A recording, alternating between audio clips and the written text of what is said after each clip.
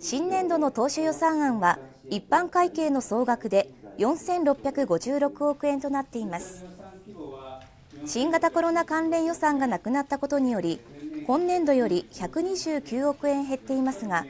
2004年度以来の規模となる積極型となっています。このうち浜田県政が2期目の最重点施策として掲げる人口減少対策の抜本強化に573億円。デジタル化、グリーン化、グローバル化に合わせて143億円を盛り込んでいます。特に人口減対策では新たに10億円をかけ地域の実情に応じて対策が取れるよう市町村向けの交付金を創設しています。